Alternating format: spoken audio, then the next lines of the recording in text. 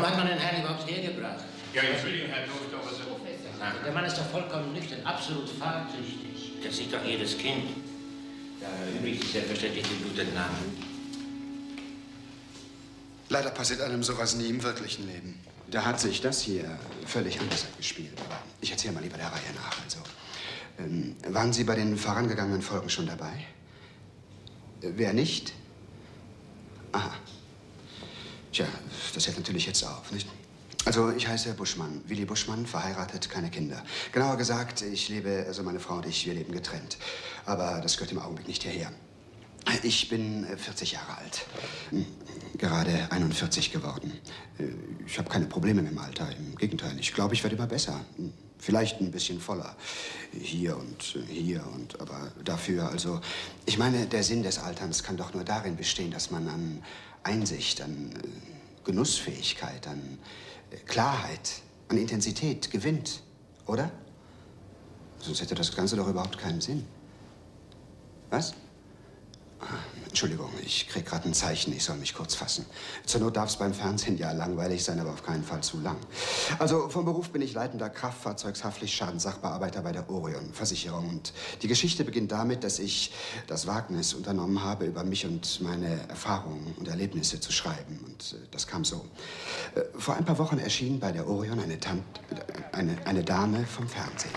Wir drehen eine Serie von Autogeschichten. Halt mal bitte die Matz an. Stopp, bitte. Ich dachte mir, ein paar Fakten können nicht schaden. Deshalb suchte ich die Haftpflichtabteilung einer großen Versicherung auf. Man verwies mich an Willi Buschmann. Unser, unser Versicherungsnehmer sagt, ihm trifft keine Schuld. Der andere sei mit 120 durch die Stadt gejagt. Ja, ja. Es heißt jetzt wieder, der arme Geschädigte kriegt kein Geld, weil die böse Versicherung nicht zahlt, ne? Aber, ich hab was für Sie, Buschi. Aber was sollen wir denn machen? Wir müssen doch erst einmal unserem Kunden glauben, ne? Gut, gut. Reden Sie mit ihm. Reicht das oder wollen Sie noch mehr mitnehmen? Oh, danke. Das, ich glaube, ich, ich glaub, das reicht. Danke. Vielen Dank. Na, Buschi? Was macht die holde Dichtkunst? Läuft's? Ja, ja. Ich habe was für Sie. Äh, ich habe es aufgeschrieben. Äh, ah ja. Äh, zwei Betrunkene fahren Auto. Plötzlich sagt der eine zum anderen, fahr vorsichtig. Darauf sagt der andere, Wieso ich? Ich denke, du fährst. sehr hübsch, ja, wirklich, wirklich sehr also, lustig. Wenn Sie es irgendwo einbauen können. Danke. Ich schenke Ihnen. Danke. Und ich nehme keine Tantien. sehr großzügig. Ja, Willi, ja? kannst du mir ein Stück mitnehmen? Mein Auto streikt. Was denn schon wieder? Was heißt denn schon wieder? Hallo. Hallo, hallo. Was ist mit heute Abend? Ich habe versucht, dich anzurufen. Ja, ich hatte den ganzen Tag. Ach, in der Glotze gibt's mal wieder nichts. Aber im Kino läuft ein toller Film. Äh, nein, ich würde es ja gerne, aber ich treffe mich heute. He heute Abend geht's nicht. Warum denn nicht? Die Fälle, die bei mir über den Schreibtisch laufen, sind meistens alles andere als lustig. Die Leute wollen aber lachen, Herr Buschmann. Wie gefällt Ihnen denn was Bloß ich... nicht zu viel Realität. Mit menschlichem Elend senken wir nur die Zuschauerbeteiligung. Ja, das ist. Äh, Trauen Sie sich was Heiteres zu? Sie haben doch Schreibroutine, oder? Also ich. Nein. Ich habe zwar mal versucht, einen Roman zu schreiben über. Wissen Sie, genauer gesagt, ich habe davon geredet, einen zu schreiben, aber. Talent ist eben auch ein bisschen Glückssache, nicht wahr? Ich misstraue den sogenannten Dichtern. In meinen Augen sind sie wie Kinder. Wenn sie am Schreibtisch sitzen, reichen ihre Füße nicht mal bis zum Boden. Ist Ihnen das eben eingefallen oder haben Sie sowas parat? Sinnsprüche für den werdenden Autor. Komplexe, weil ich eine Frau bin?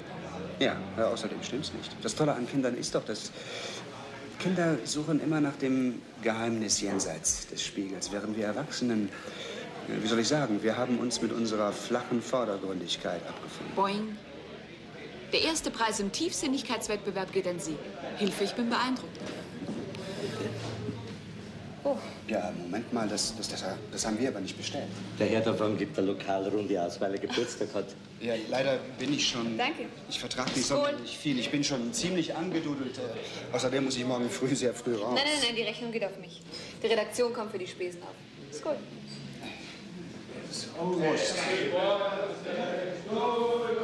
Hey, Kneifen ist feige. Menschenskind, Sie trinken wohl jeden Mann unter den Tisch. Sie rauchen wie ein Als Schlot. Penisersatz habe ich meinen Beruf, wollen Sie sagen. Warum wollen Sie nicht, warum sagen Sie mir nicht einfach, dass Ihnen das, was ich bisher geschrieben habe, nicht gefällt? Weil es nicht stimmt. Manches daran ist sehr hübsch und sehr interessant. Ehrlich? Ganz ehrlich. Sie sollten unbedingt weitermachen. Allerdings für meinen Geschmack versuchen Sie manchmal ein bisschen zu sehr Ihre eigenen Wehwehchen darzustellen. Aber mein Abteilungsleiter ist echt angetan. Wirklich? Ja, er findet Ihren Entwurf gescheit und interessant. Hat er das wirklich gesagt? Hat er sonst noch was gesagt? Sie hätten eine Gabe, andere zum Lachen zu bringen. Die sollten Sie mehr nutzen. Aber was bringt denn die Leute zum Lachen? Schadenfreude. Wenn anderen etwas zustößt, von dem man froh ist, dass es einem selbst nicht passiert ist. Tja, nun gucken Sie sich den an. Ja, ein bisschen viel getankt, würde ich sagen.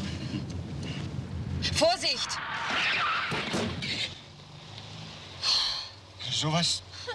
Der, der, der hat doch überhaupt keinen Grund für einen Irrer auf die Bremse zu latschen. Ist ja nichts passiert. Ja, aber der hat Schuld. Wir. Wieso wir? Weil man der, der auffährt, Schuld hat.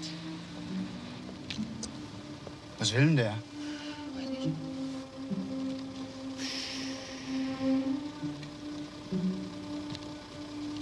Ach so.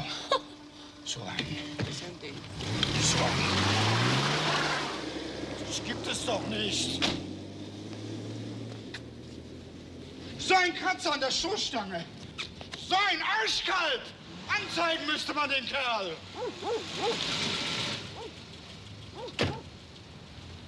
Guten Abend. Wo stehen Sie hier mitten auf der Straße rum und fahren nicht weiter? Ja, weil, weil, weil der Wagen vor mir plötzlich gebremst hat Was und denn für ein Wagen? Ich sehe hier weit und breit keinen Wagen. Du vielleicht? ja, so ein Ihren silbrig weißer... Führerschein bitte, Fahrzeugpapiere und dann öffnen Sie bitte schön den Kofferraum. Ja, gern, aber wieso? Ich, Ich möchte Ihr Warndreieck sehen. Mein Warndreieck. Ganz super.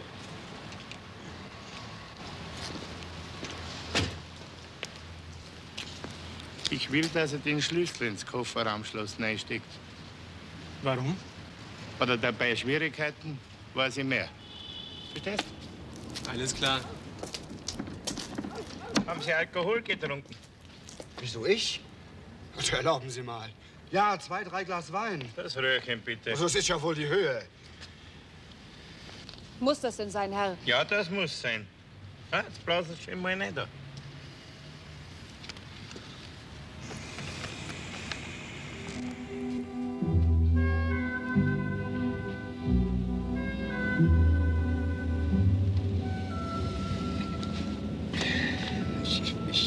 begreife das nicht.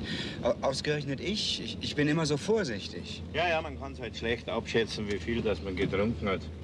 Also ich persönlich halte mich da in die Faustregel. Eine halbe Bier, 0,4 Promille. Grob geschätzt natürlich, nach Körpergewicht und so weiter. Das Maximum wären also zwei halbe Bier. Jetzt mal Hand aufs Herz. Wie viel haben Sie denn wirklich getrunken? Zwei, drei Glas Wein. Auwe. Schon zu viel.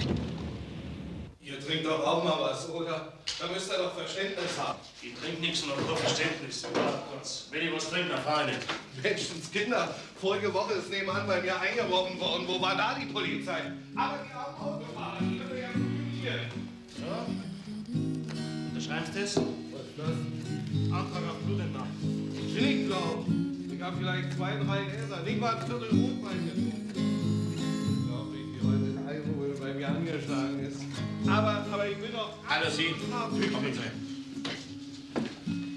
Wenn Sie gerade frisch getrunken haben, ist noch sehr viel Alkohol im Mundraum. Also, gut spülen.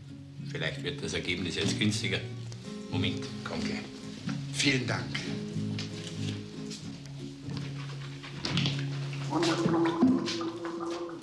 Sie müssen versuchen, möglichst wenig Lungenluft da reinzublasen.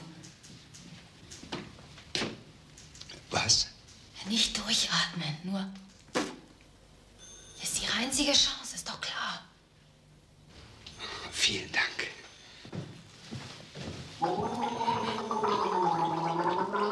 Ja, das langt jetzt schon. So, und jetzt versuchen wir es noch einmal, gell? Ja, was ist denn, was ist denn? Sie sind doch kein Profibläser, oder? Wie bitte? Ja, nicht nur pusten. Schön die Luft tief aus der Lunge rausholen. Wissen Sie, wenn einer Profibläser ist, dann sage ich gleich, Herr mit dem Alkotest, du hast zu viel. Tja. Ich begreife das nicht. Ich habe wirklich nicht viel getrunken. Was ist da los? Ist was passiert? So ist er die Landsberger Straßstadt einwärts gegangen. Bei dem wieder. Oh mei, oh mei, da warst du. Hast wieder mal geraucht mit einer Alten gehabt. Dankeschön. Gute Nacht.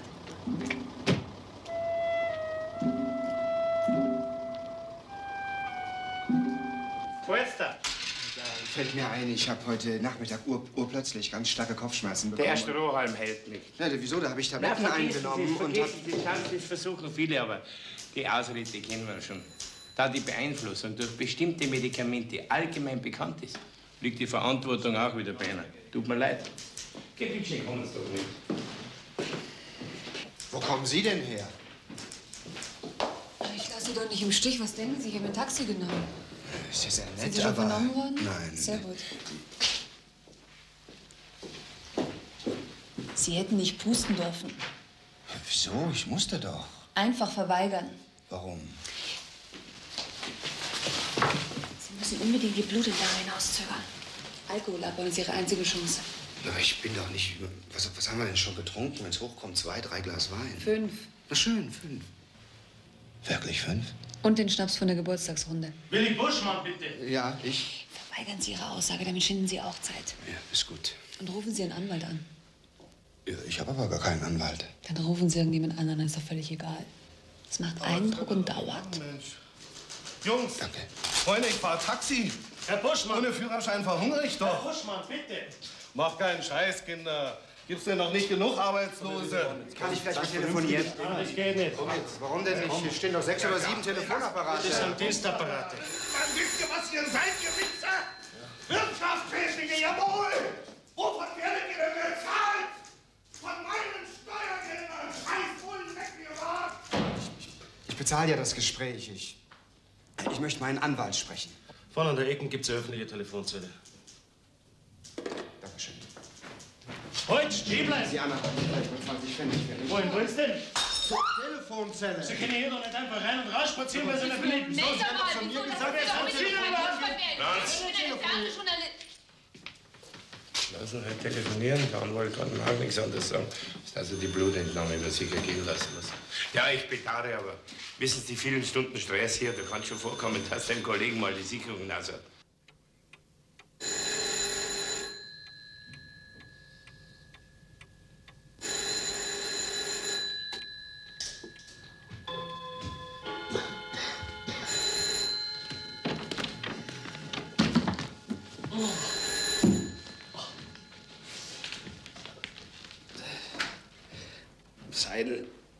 Max Seidel. Herr Dr. Seidel, äh, entschuldigen Sie die späte Störung. Buschmann. Willi Buschmann. Willi? Was ist los? Mir ist heute Abend ein kleines Missgeschick passiert. Äh, Ich befinde mich hier auf einer Polizeiwache, weil ich... Aber weißt, weißt du eigentlich, wie spät es ist? Findest du das komisch? Aha, ich verstehe. Ich soll also jede Aussage verweigern. Ach, du bist doch besoffen. Alles klar, ich habe verstanden. Vielen Dank, Herr Doktor. Tja, tut mir leid, Sie hören ja selbst. Sie wollen nicht aussagen. Ja, Dr. Seidel Ah, ich meint... dann fahren Sie gleich. Wohin? Gerichtsmedizinische Institut. Also sind Sie gut. Gehen wir. Gehen wir. Jetzt muss ich auch noch ins Gerichtsdienstinstitut. Ist schon gut.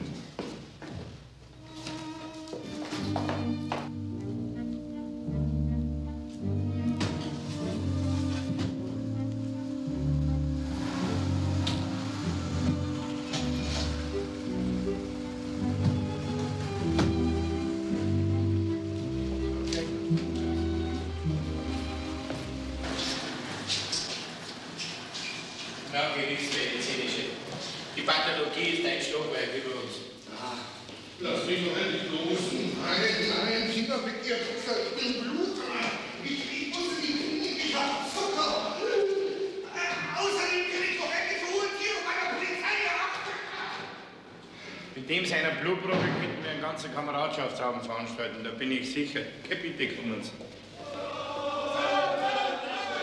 Jetzt sag's doch mal still. Hinten hat noch den letzten Nerv.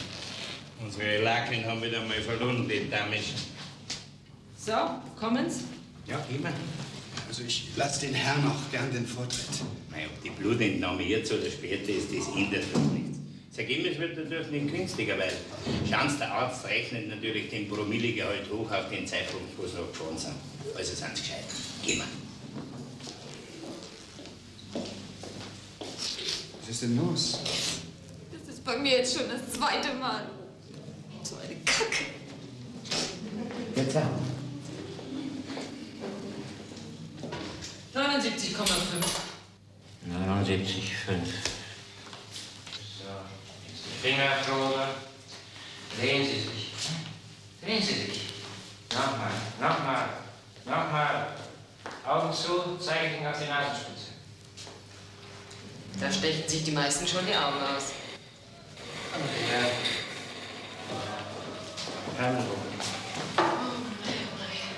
Sie hier die ganze Nacht rumsitzen, glauben Sie an mich. Es gibt keine anderen Menschen mehr auf der Welt als nur Besoffene. Sehen ja keinen anderen.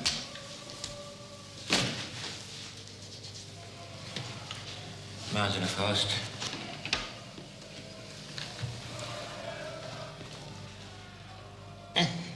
Sie, Sie, Sie, Sie, Sie, Sie, Rollvenen. Was? Ja, Sie haben Rollvenen. Die flutschen unter der Nadel weg, aber keine Sorge, die kriegen wir schon. Ah, ah. Da schauen Sie, Schwester, hochinteressant. Typische Rollvenen. Ruhig, ruhig. Ah. Gerade so ein Paradebeispiel für Rollvenen. Schon wieder weg. Ja, schauen Sie. Oh mei, oh mei. Aber gleich haben wir sie gleich. Na, wer sagt's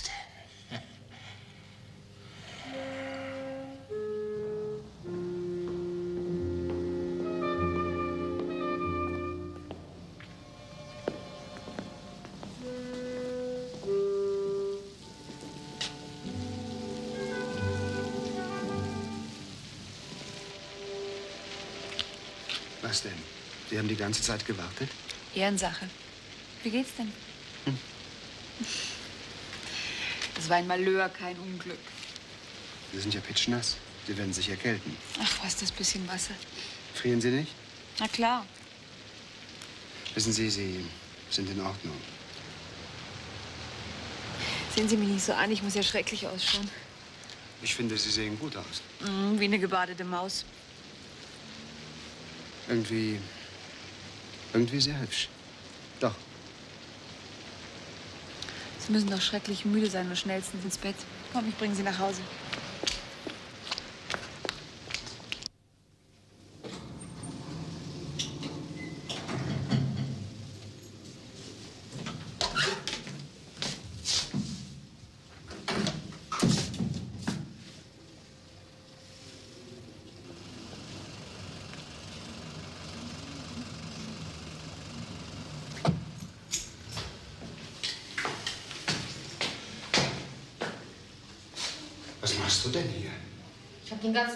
Dich anzurufen, als sich niemand gemeldet hat. Äh, Mensch, Willi, ich habe mir solche Sorgen gemacht.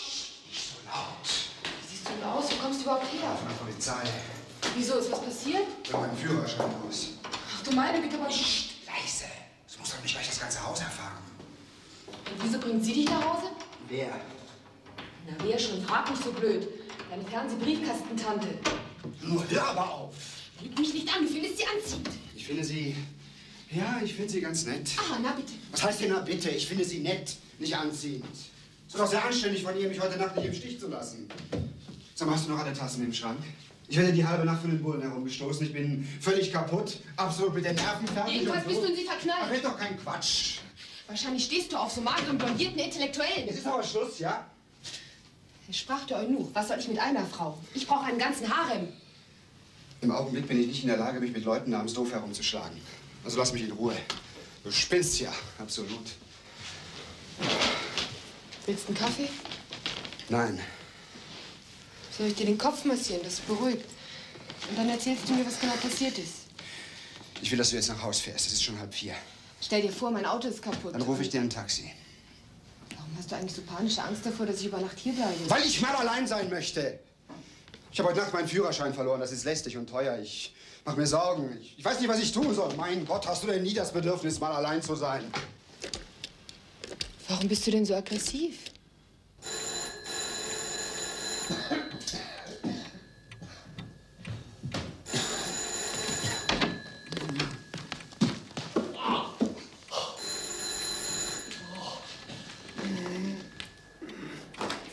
Ja, Seidel, Max Seidel. Ja, ich bin's noch mal, Willi. Ich wollte dir nur erklären, warum ich vorhin... Äh, du, hast, du hast doch hoffentlich gleich gemerkt, dass ich... Äh, ich ich habe dich doch mit Dr. Seidel angeredet, nicht? Das, äh, Ich glaube, mein Goldfisch rumpelt. Was? Ähm, aber, aber ich dachte, dass die bei der Polizei glauben, wenn ich mit einem Rechtsanwalt... Hallo? Hallo? Bist du noch dran?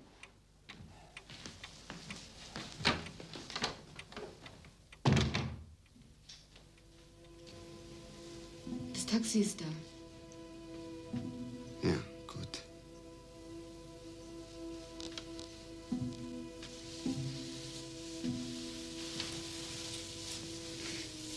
Jetzt schlaf dich erst mal gründlich aus, ja?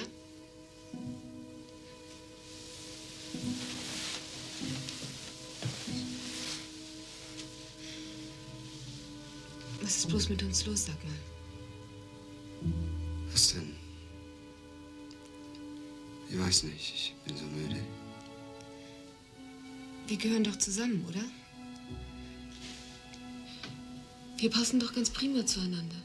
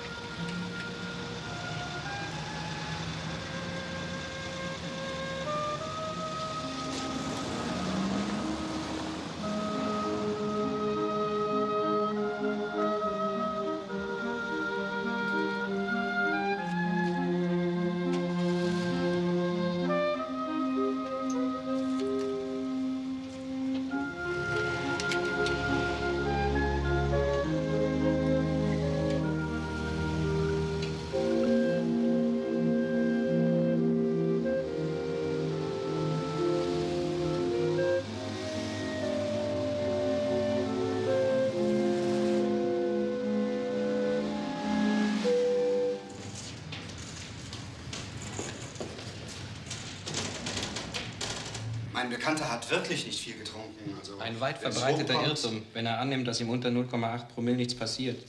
Die Rechtsprechung kennt Fälle, wo jemand bei 0,4 bis 0,5 Aber es sind ja bloß zwei Bierchen oder sowas. Ganz recht. Da kann es schon zum Entzug der Fahrerlaubnis und zu ganz beträchtlichen Strafen kommen. Geldstrafen? Wie hoch denn so in etwa? Die richten sich nach den Tagessätzen seines Nettoverdienstes. Bei 3000 Mark monatlich ist der Tagessatz 100 Mark.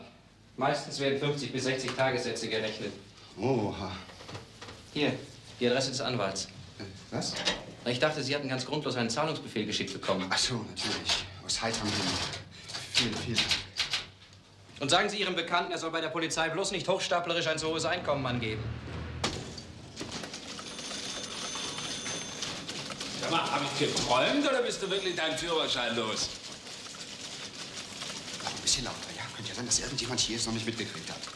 Bin schon dabei. Schrecklich ärgerlich, Herr Buschmann. Wie? Was? Ich habe ihn vor zwei Jahren verloren.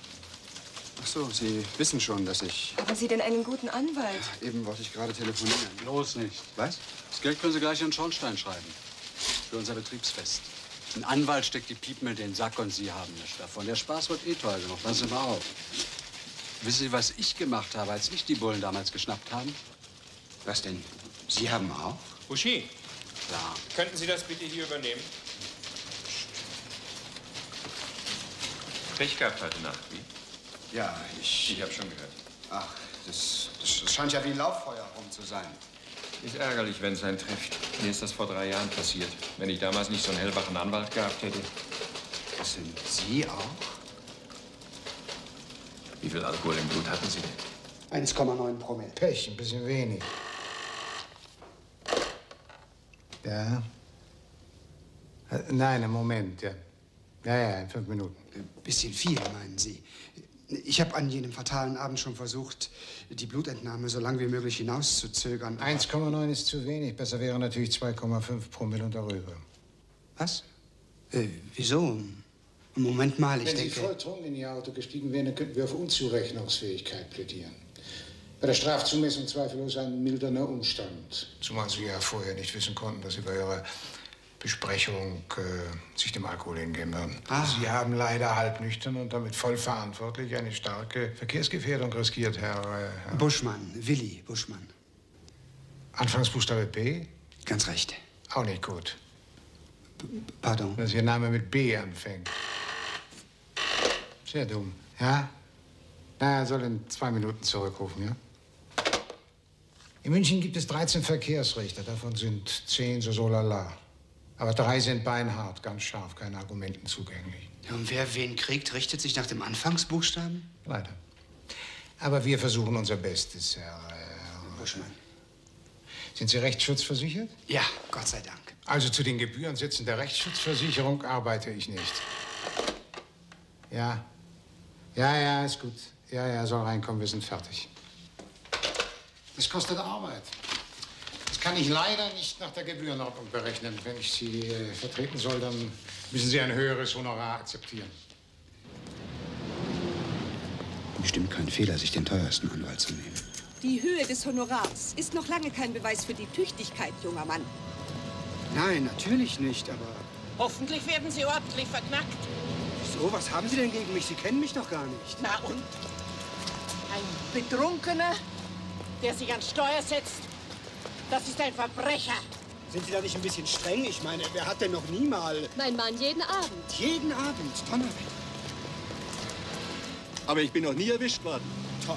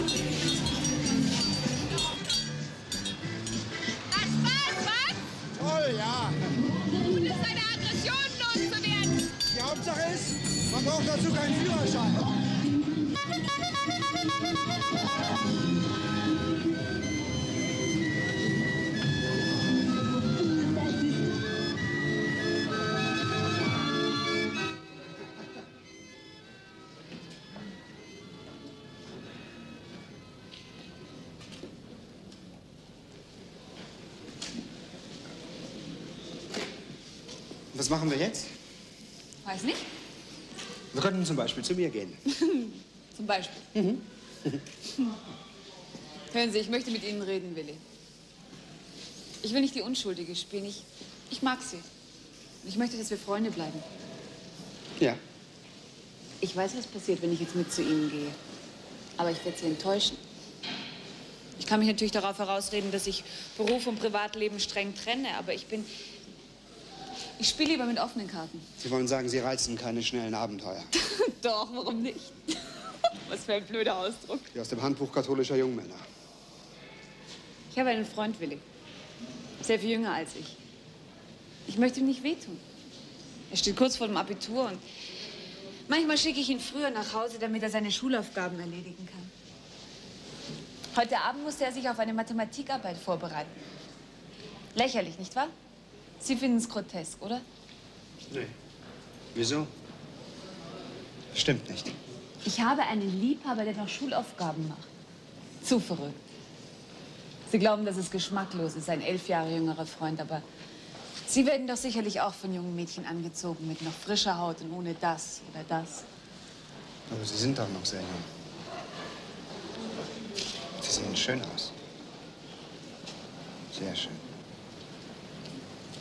Jetzt küssen Sie mich.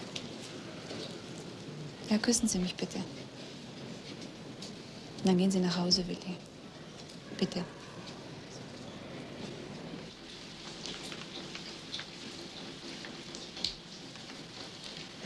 Was ist los? Woran denkst du? An nichts. Ich weiß nicht. Die Menschen da draußen, wie unglücklich viele sind und Bist du deprimiert? ach was. Hat mein großer brauner Brummelbär etwa Kopfschmerzen? Will er eine Tablette? Ich habe keine Kopfschmerzen. Soll ich uns was Leckeres zum Essen machen? Nicht wieder Spaghettis. Ich werde immer fetter. Dein kleiner Bauch ist ganz erotisch. Und Spaghetti Marinara kann ich sowieso am besten. Ach, übrigens, ich habe heute die Schlüssel von der Polizeiwache geholt und dein Auto hergefahren. Danke. Kannst du es mir für die nächsten Tage leihen? Du brauchst es doch sowieso nicht.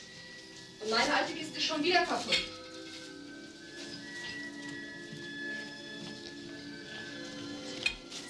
Jetzt machen wir es uns ganz gemütlich, ja? Und dann hat mein großer brauner Brummelbär auch wieder gute Laune. Ich habe gute Laune.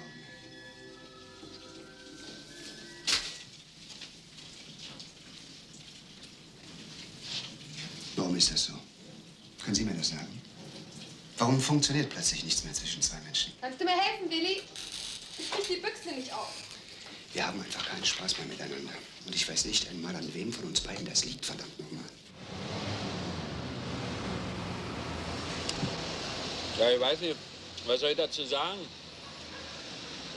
Ich habe den Eindruck, du bist da gefühlsmäßig mit deiner schönen Fernsehredakteurin in was reingeschlittert. Ach was, da läuft nichts. Mit der hat das überhaupt nichts zu tun. Ich muss nur dauernd an sie denken. Was machst du jetzt mit Christine? Vorsicht, Bello! Herr Seidel, da gibt es Unstimmigkeiten. Laut Polizeibericht hat unsere Versicherungsnehmerin nachts im Suff einen jungen Familienvater, der seinen Hund spazieren führte, überfahren Schädelbruch. Sie dagegen behauptet, sie sei stocknüchtern gewesen. Das ist totaler Unsinn. Sie hatte 2,3 Promille. Wahrscheinlich fürchtet sie Haftungsausschluss. Die alte Geschichte kennen wir ja. Vielleicht sollten Sie mal stecken, dass Ihre Falschaussage völlig überflüssig gewesen ist, weil unsere Gesellschaft so oder so, auch wenn sie betrunken war, den Schaden übernehmen muss. Schrecklich. Ja, scheußlich. Das Opfer hat zwei Kinder. Da müssen wir im Fall des Falles auch noch die Ausbildung übernehmen. Mensch, schau dir das an. Der reine Horror.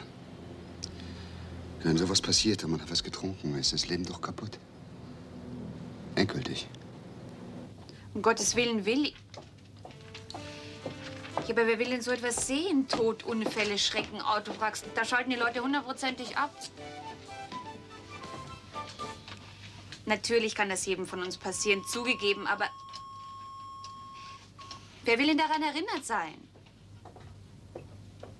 Nein, Willi, wir haben uns auf heitere und unterhaltsame Geschichten geeinigt. Da fällt mir ein, für deine Autogeschichten, wer hat mir denn den erzählt? Naja, ist ja auch egal. Pass auf. Opa und Oma gucken so über die Autobahn, ja? Plötzlich kommt eine Durchsage im Radio. Achtung, Vorsicht, auf der Autobahn von so und so nach so und so kommt Ihnen ein Geisterfahrer entgegen. Daraufhin sagt der Opa zu Oma, was heißt hier einer? Hunderte. der ist auch komisch. Ja, so ein Bart.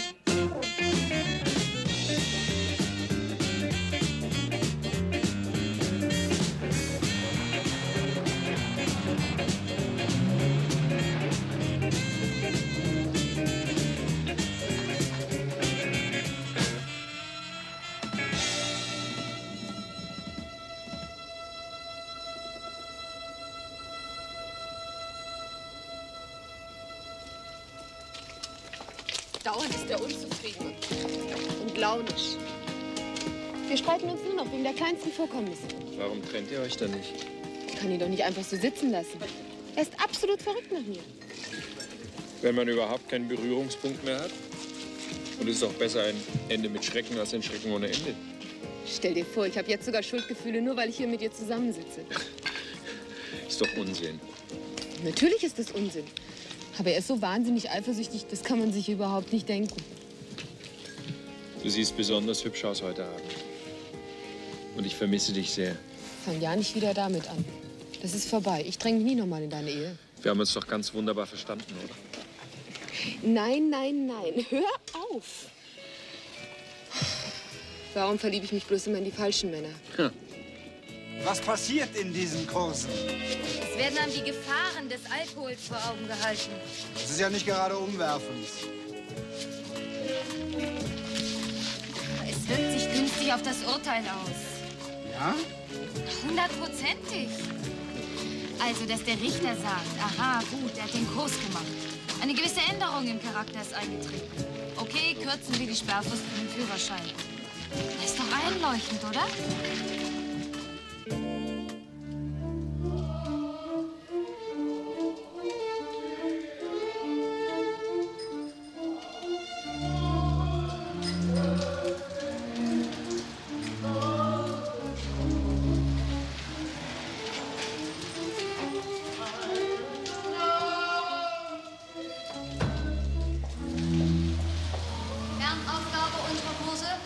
Die Trinkkontrolle. Gut, was müssen wir fürchten? Den Weichmachereffekt. Gut, was ist das? Sie. Ich, äh, ich, ich bin neu hier. Sie sagen, jetzt gehe ich auf ein Bier. Sie kommen in die Kneipe, da ist eine Mordsstimmung. Nach einem Bier werden Sie weich. Warum nicht ein zweites oder ein drittes? Ganz klar. Alles kein verstehe. Problem. Seit Jahren fahren Sie ja auch noch mit sechs Bier Stangen gerade in Ihre Garage. Ja. Es ist aber wissenschaftlich nachgewiesen, nicht wahr, dass mit Alkohol Ihre Fahrtüchtigkeit rapide abnimmt.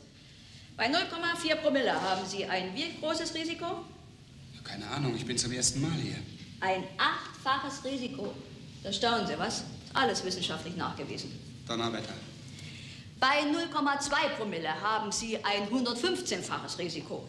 In Worten 115. Vielleicht unterläuft Ihnen selbst kein Fahrfehler, aber Sie können die Fahrfehler der anderen nicht mehr ausbügeln. Da übersieht einer die Vorfahrt. Sie reagieren zu spät, es kracht. Und was kommt nun? Das Pechvogelargument. Richtig. Sie sagen nicht, Mensch, der Alkohol ist schuld. Nein, Sie sind ja schon hundertmal alkoholisiert gefahren und immer ist es gut gegangen. Sie sagen, was musste dieser Depp ausgerechnet in diesem Moment daherkommen? Da habe ich Pech gehabt. Gehen Sie noch mit einem trinken? Ja, wir gehen noch ins Riverside, das ist nicht so weit. Nicht? Na? Wie fanden Sie es? Ach ja, also an, an, und für sich. Mächtig informativ, wie? Ja, ja, ja, doch. Passen Sie mal auf. Wenn Sie jetzt was trinken, Alkohol, ne? Sie tun's, na schön, aber plötzlich äh, irgendwie bewusster.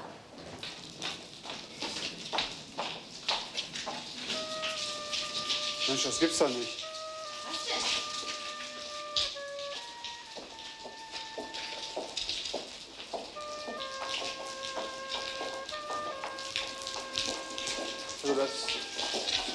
So, viel Pech glaubt einem ja keiner. Jetzt, jetzt ist ja noch mein Fahrrad weg. Geklaut.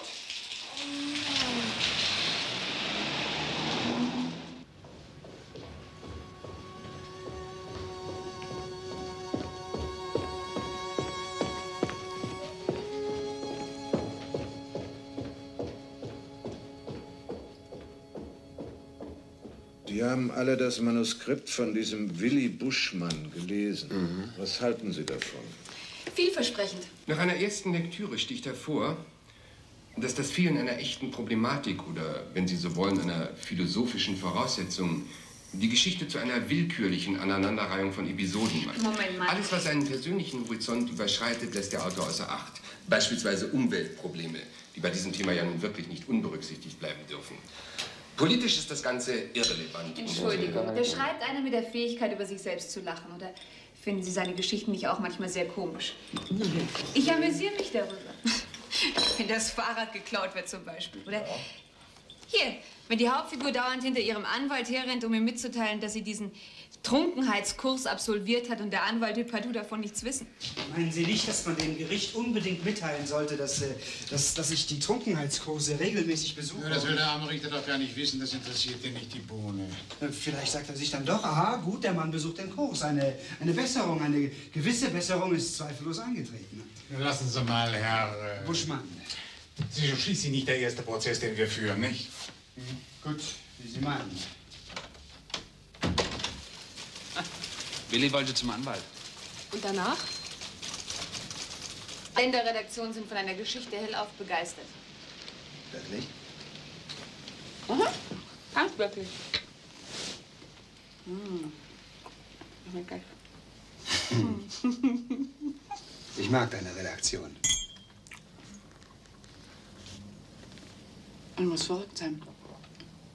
Nee. Doch. Du bist ja vernünftig.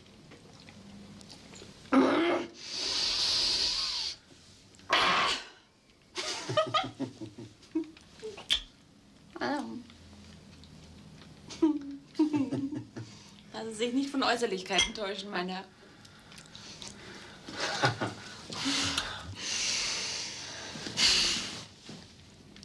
Weißt du, was das Schlimmste ist? Ich habe nicht mal ein schlechtes Gewissen. Gut. Dass es immer ein Entweder-Oder geben soll, ist doch zu blöd. Warum muss eine Liebe notwendigerweise aufhören, wenn eine andere beginnt? Es wäre zu einfach. Darf ich meine Hand dahin legen? Mhm. Solange es nicht zur Pflicht wird.